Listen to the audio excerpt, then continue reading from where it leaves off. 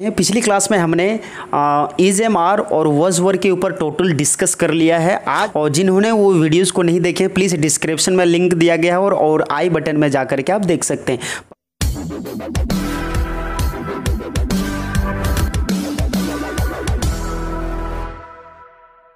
तो shall be और will be सबसे पहले जानने वाले कि बहुत ही आसान ढंग से, बहुत ही परफेक्ट यूज़ हम लोग बताने वाले हैं। एक्चुअली सेल बी और विल बी में कभी आप फंसेंगे ही नहीं।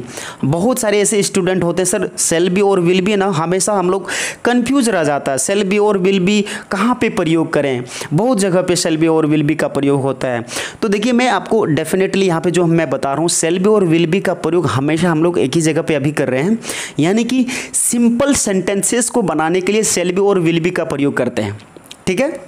सिंपल सेंटेंसेस को बनाने के लिए सेल बी और विल बी का प्रयोग करते हैं जिसमें कोई भी मेन वर्ब का प्रयोग नहीं करेंगे यानी कि कोई एक्शन का प्रयोग नहीं करेंगे। जैसे फॉर एक्शन का मतलब क्या होता है कि आना जाना खाना पीना सोना बैठना एक्सेट्रा वॉट एवर जितनी भी सारे हम लोग सुबह से शाम तक काम करते हैं ये हमारा टोटल एक्शन कहलाता है। यानी कि गो कम ईट है ना? मतलब कुछ भी कोई एक्शन करते हैं कोई भी काम करते हैं उनको बोलते हैं एक्शन तो without action without main verb आज हम लोग जानने वाले हैं।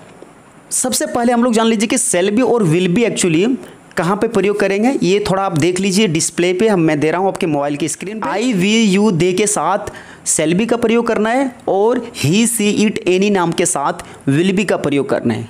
ठीक है? यहाँ तक क्लियर है? अब देखिए sir, shall be will be तो समझ में आ गया। कौन सा एक्चुअली सब्जेक्ट के साथ सेल बी और विल बी का प्रयोग करेंगे हम लोग? ये समझ में आ गया।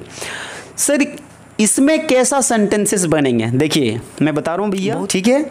अब देखिए हम लोग जब सेंटेंस बनाएँगे भैया एकदम क्लियर करेंगे आपको ठीक है? बहुत ही आसान भाषा में हम लोग बताएँगे। ये समझ में आएगा यानी कि जैसे हम लोग नहीं बोलते भैया मैं खुश रहूँगा। क्या रहेंगे आप? खुश रहेंगे रहना चाहते हैं। मैं खुश रहूँगा। यानी कि I will be happy I will be happy तो जैसे फॉर एग्जांपल मैं चाहता हूँ भैया मैं एक डॉक्टर बनूँगा। मैं क्या बनूँगा? देखिए यहाँ पे सेंटेंस से आपको माइंड में रखनी है। यहाँ पे ट्रांसलेट हम नहीं कर रहे हैं। हम आपको सिचुएशन दे रहे हैं। सिचुएशन को पकड़ना है। हमने ये कहा कि हम लोग फ्यूचर टाइम में कुछ होना चाहते हैं। कुछ बनना चाहते हैं। ठीक है? तो चलिए आप सेंटेंस बनाते हैं। सबसे पहले आप स्ट्रक्चर लिख लीजिएगा तब ज़्यादा समझ में आएगा। देखिए सब्जेक्ट प्लस सेल बी या will be plus object complements without action बना रहे हैं सिंपल सेंटेंसेस बना रहे हैं। याद रखिएगा मैं बार बार रिपीट नहीं करूँगा।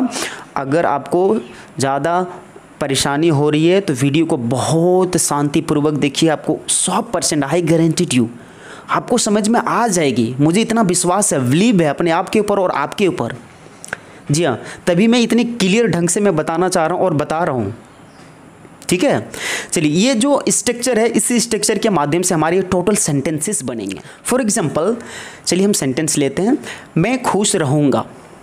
मैं, ये सेंटेंस हमारा क्या कह रहा है? भैया, मैं खुश रहूँगा। यानी कि आप सोच पा रहे हैं, क्या मैं खुश रहूँगा? क्या अभी मैं खुश रहूँगा? नहीं ना। हम लोग बोल रहे हैं, भैया, ठीक है, मैं खुश रहूँगा। उस चीज़ में आने वाले टाइम में खुश रहेंगे। है ना? तो आई विल बी हैप्पी जैसे हम लोग कहते हैं मैं डॉक्टर बनूँगा। क्या बनूँगा? मैं एक डॉक्टर बनूँगा। तो I will be a doctor जब हम लोग डॉक्टर बन जाएँगे ना तो काफ़ी समय तक डॉक्टर बने हुए रहेंगे। इनकी पीरियड ही बहुत दूर तक चलता है। ठीक है? जब आप डॉक्टर बन जाते हैं तो इनकी पीरियड काफ़ी दिन तक चलता है। तीस साल बीस साल तक उस पद पे आप रहते हैं। तो I will be a doctor जैसे कोई कहते हैं भैया मैं मतलब फौजी बनूँगा या फौजी रहूँगा या फौजी होऊँगा। अंडरस्टूड तो आई विल बी आ फौजी। यानी कि या खुश रहेगी। सी विल बी हैप्पी और ही विल बी हैप्पी अच्छा यहाँ पे आप कंफ्यूज हो रहे हैं कि सेल बी और विल बी का प्रयोग सर कहाँ पे करें? चलिए बहुत ही आसान कर देते हैं क्लियर कट करते हैं। देखिए, जितने भी सारे हमारा सब्जेक्ट है ना, यानी कि सेवन और एट जो भी सब्जेक्ट हैं I we you they he she it any नाम, जितने भी सारे हमारा सब्जेक्ट ये हैं टोटल सब्जेक्ट के साथ आपको विल बी का प्रयोग करनी है। भूल जाइए आप सेल भी भूल जाइए, कि सेल भी कुछ नाम का भी होता है। भूल जाइए, क्योंकि we are right now learning in English language okay we are learning in English language हम लोग अंग्रेज़ी सीख रहे हैं, बोलना चाहते हैं, बोलना सीख रहे हैं स्पीकिंग कर रहे हैं। इसीलिए अभी सब चीज़ भूल जाइए सेल बी को हटाइए, सिर्फ़ विल बी का आपको प्रयोग करनी है। यानी कि जितनी भी सारे सब्जेक्ट हैं टोटल सब्जेक्ट के साथ आपको विल बी का ही प्रयोग करनी है हेल्पिंग वर्क ठीक है? ओके आगे बढ़े। चलिए, हम लोग कहते हैं ना, मैं किसान बनूँगा। क्या बनेंगे हम लोग?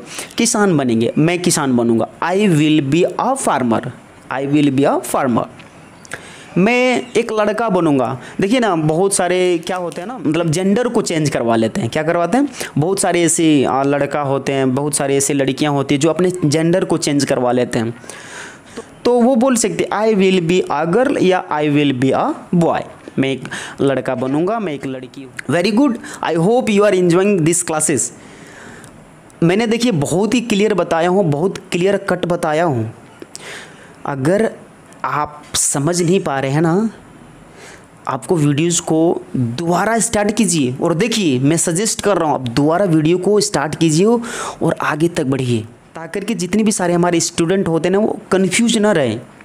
अगर कन्फ्यूज़ रह जाएँगे ना, फिर बोलते हैं ना, खिचड़ी हो जाएगा, बेकार हो जाएगा ऑल इन वैन हो जाएँगे, बर्बाद हो जाएँगे, है ना? तो बर्बाद होने नहीं देनी है। अगर आपने हमें पे किया है अगर आप फ्री वीडियोस देख रहे हैं डिजेंट मेड अगर आपने पे किया है तो दोनों का महत्व आपको रखते हुए चलनी है। क्योंकि ये जो वीडियोस मैं आपको प्रोवाइड कर रहा हूँ और ये दे रहा हूँ, बहुत ही इसमें खर्चे आते हैं, काफ़ी टाइम लगते हैं। लगभग बारह बारह घंटे हमें एक वीडियो दस मिनट की या पंद्रह मिनट की वीडियो देने के लिए हमारे पूरे दिन बीत जाते हैं। यानी कि चौबीस घंटा टोटल बीत जाते हैं। तो आपको इस वीडियो को क्या है महत, बहुत महत्वपूर्ण देनी है। न कि ऐसे आप छोड़ दीजिएगा। ठीक है?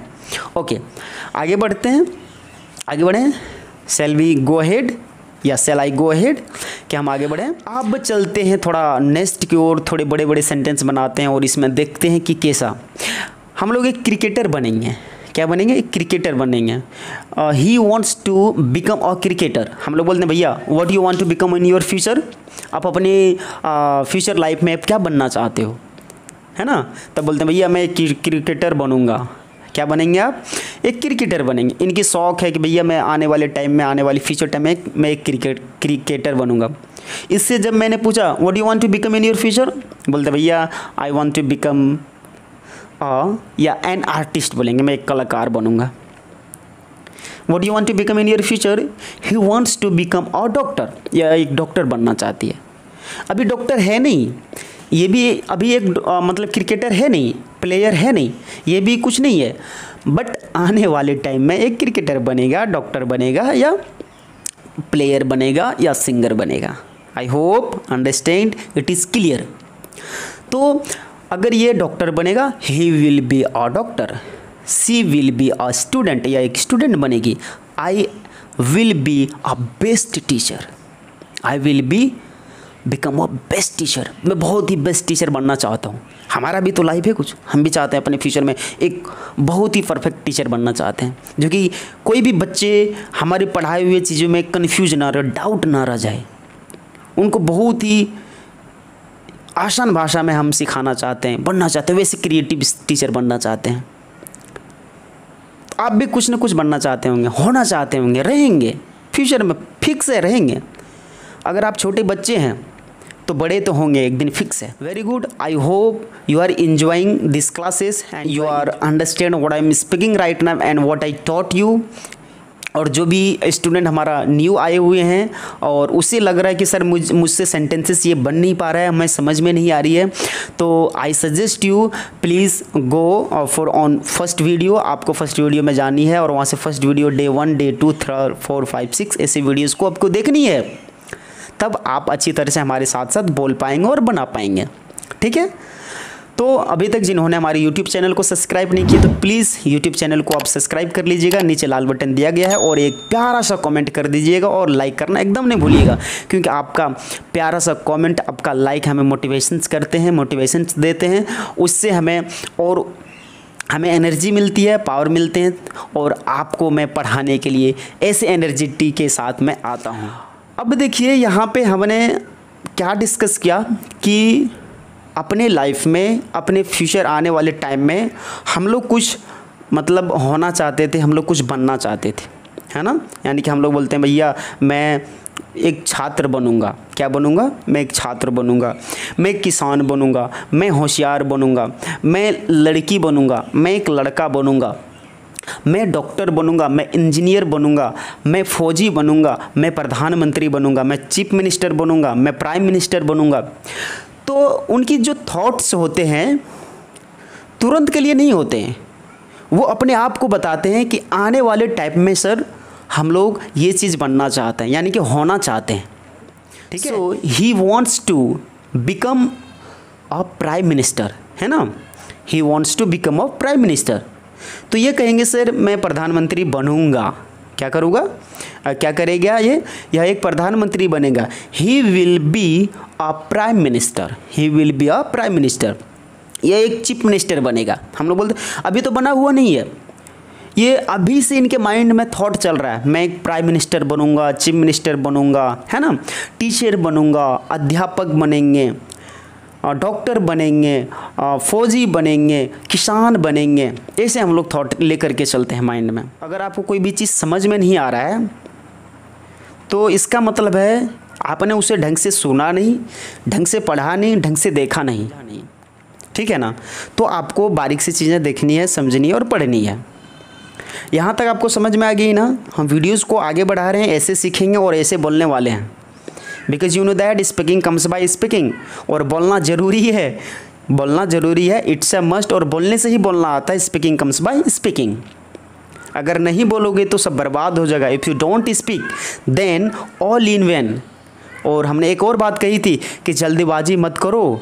डोंट मेक हिस्ट अगर जल्दीबाजी करते हो इफ़ यू हिस्ट मेक अगर आप जल्दीबाजी करते हो if you haste make then all in vain जल्दबाजी करने का काम हमेशा शैतान का होता है। Haste make waste that's why we should not haste make ठीक है? जल्दबाजी हमें नहीं करनी चाहिए because you know that everything okay चलिए, अब ऐसे क्वेश्चन यहाँ पे हो गया। आप जितना इनके ऊपर आप बता सकते हैं, जितनी ज़्यादा आप बोल सकते हैं, बोलिए प्रैक्टिस करिए घर में। जितने बार आप बोलना चाहते हैं, उतने बार बोलिए बिकॉज़ यू नो दैट बोलने से बोलना स्पीकिंग कम्स बाय स्पीकिंग दौड़ने से ही दौड़ना आता है रनिंग कम्स बाय रनिंग और सुनने से ही सुनना आता है हीयरिंग कम्स बाय हीयरिंग और कोई भी चीज़ पढ़ने से ही पढ़ना आता है स्टडिंग कम्स बाय स्टडिंग या बुक रीडिंग करने से ही रीडिंग करना आता है। रीडिंग कम्स बाय रीडिंग है ना? और रीडिंग करना हमारे लिए इट्स अ मस्ट जिस तरह रीडिंग करना इट्स अ मस्ट है, उसी तरह बोलना it's a must it's mandatory है। बोलना तो इट्स अ मैंडेटरी बोलना तो बहुत ज़रूरी है। ठीक है? और बोलने के लिए हमें क्या करना चाहिए? सिर्फ़ तो मुँह तो चलाना है। ध्यान से बी केयरफुल से आप सुनिए और बातों को रिपीट करिए। It's a piece of cake it's a piece of cake कोई भी चीज़ यहाँ पे आप लिख लीजिएगा it's a piece of cake यानी कि कोई भी चीज़ हमारे लिए आसान होना it's a piece of cake यानी कि हम लोग बोलते अरे, ये मेरे लिए तो बहुत आसान है। हमारे लिए तो ये चुटकियों का खेला है। It's a piece of cake I can do it everything मैं मैं तो ये कर सकता हूँ, सब कुछ कर सकता हूँ, ये तो मेरे लिए आसान है। है ना? It's a piece of cake ये हमारे लिए बहुत ही आसान है। हाँ ये हमारे लिए आसान है। करना आसान है। It's a piece of cake and दूसरे वे में आप कह सकते हैं, जैसे कोई भी चीज़ करना आसान होना तो यानी कि हम लोग बोलते हैं इट्स ईजी टू स्पीक जैसे हम लोग बोलते हैं, बोलना आसान है। इट्स ईजी टू स्पीक खेलना आसान है। इट्स ईजी टू प्ले है ना? क्रिकेट खेलना आसान है। It's easy to play cricket बोलना आसान है। इट्स ईजी टू स्पीक सुनना आसान है। इट्स ईजी टू हियर है ना? कहना आसान है इट्स ईजी टू से तुमसे बात करना आसान है it's easy to talk to you तो बहुत सारी ऐसी चीज़ें हो जाती है। हम लोग आगे बहुत ही एडवांस लेवल पे चलेंगे। अभी जैसे जैसे मैं डे बाय डे वीडियोस आपको मैं प्रोवाइड कर रहा हूँ, ऐसे वीडियोस हमारा देखते हुए चलिए और एक एक चीज़ नोट इट डाउन करते हुए चलिए।